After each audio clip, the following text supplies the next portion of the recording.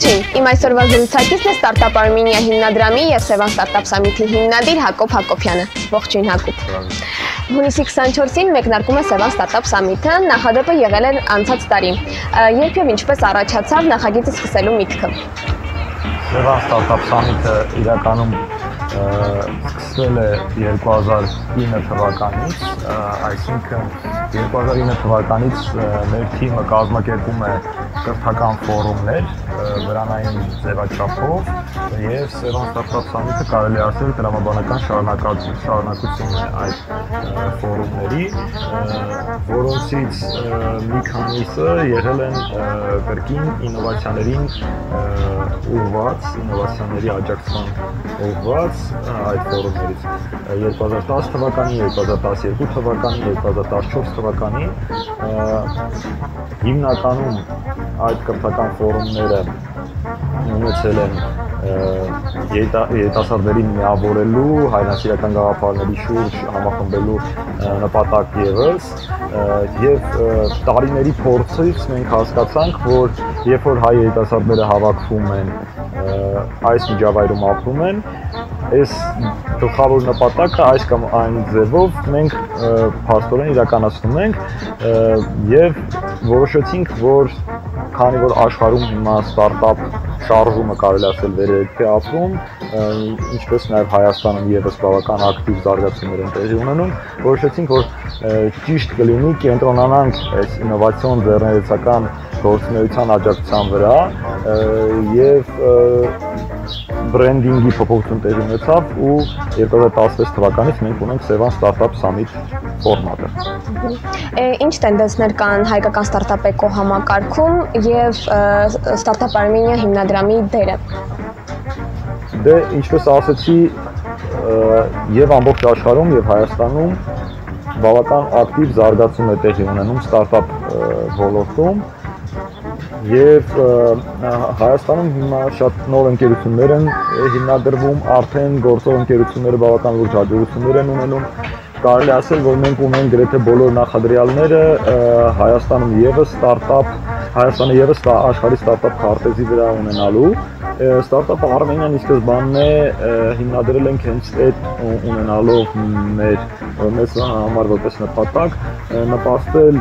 հայկական ստարտափ համակարգի կայացմանը, աջակցել այն ստարտափերին, որոնք նոր-նոր են փորձում առաջի քայլերը իրականացնել եւ նաեւ այնպես անել, որ Հայաստանը ոչ միայն լինի աշխարհի քարտեզի վրա, ստարտափ քարտեզի վրա, այլ ունենա եւ շատ կարեւոր տեղը։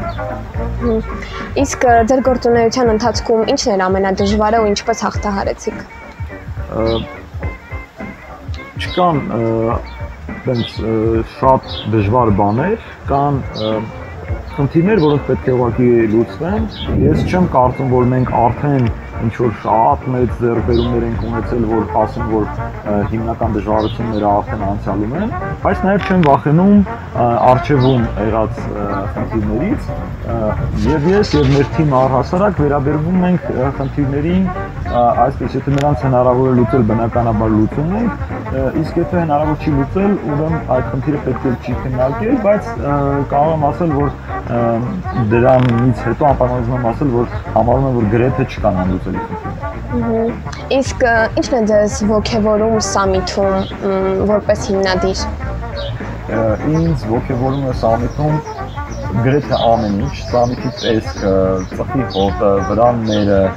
մարդիկ ովքեր ավելի քիչ են սկսում լվացվել, անկեղծությունը, որը սամիթում անխուսափելի է, սկսած օրինակ շպարի բացակայությունից վերջացրած շփումներում արկա շատ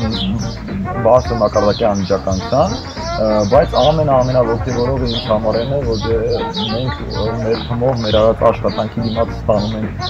շնորհակալություններ հաճախ ոչ հենց բառացի շնորհակալություն այլ արդյունքների տեսքով ինձ ողջևորում են այդ արդյունքները ինձ ողջևորում են հերանեկարը որ մենք ունենալու ենք ավելի լավ Հայաստան ավելի շատ ստարտափեր ավելի ակտիվ երիտասարդություն սրանք բոլորը իհարկե ողջևորում Մի փոքր խոսենք ֆորմատի մասին։ Seven Startup Summit-ը իր ֆորմատով եզակի է տարածաշրջանում։ Ինչպես ընտրեցիք հենց այս ֆորմատը։ Դե ինչպես ասացի, ֆորմատի հետ գործ ունենք արդեն վաղուց ինչ կարող եմ ասել, այս ֆորմատը ստարտափ տարածք բերելու հարցն է նոր իրականում, այսինքն ֆորմատը հին է, ամենահին ժամանակներից մարդիկ վրաններով հավաքվել են իսկ սովետական ժամանակներում վրանային ճամբարները ընդունված են եղել, այսինքն ասել, որ ինչ որ նորարարություն կա դրա մեջ, բնականաբար հնարավոր չի, ճիշտ չի լինի, բայց միանշանակ ստարտափ համակարգ այս ոճը բերել, այս ֆորմատը բերել իսկապես նոր է եւ կարծում եմ ոչ միայն տարածաշրջանի համար, այլ ամբողջ աշխարհում ինչու պայմանավորված կարծում եմ որ Sevan Startup Summit-ը ինչ որ պահի նաև իր տարածումը կունենան Հայաստանի սահմանների շուրջ։ Այս ֆորմատի ունիկալությունը կանում է նրանում, որ ստարտափերները այս միջավայրում ապրելով,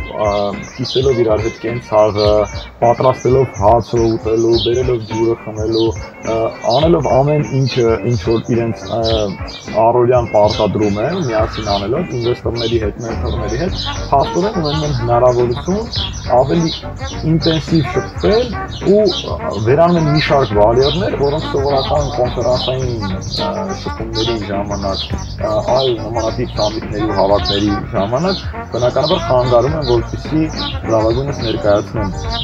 իդեայի հեղինակները իրենց գաղափարը։ Եվ սա հնարավորություն է տալիս հասարեն ինվեստորին տեսնելու, մյուս կողմից ինվեստորը հնարավորություն տեսնելու այն, ինչը այլ ֆորմատով ինքը չէր կարողանա տեսնել։ Ինչ է տալիս Sevan Startup Summit-ը մասնակցին։ Sevan Startup Summit-ը մենք նշել ենք, որ 4 հիմնական ուղղություն ունի ուրեմն կրթություն, կապեր, հաղթանակներ եւ հաճելի ժամանակ, հա։ Առաջին հերթին իսկապես մենք բավական ծանրացել ենք իսկապես կարևոր կրթական կոնտենտ բովանդակություն ապահովելու հա վրա եւ հաստատի մեր կրթական բաժնի տղաները հասնում են, որ այսօր ունենք շատ լավ դասախոսությունների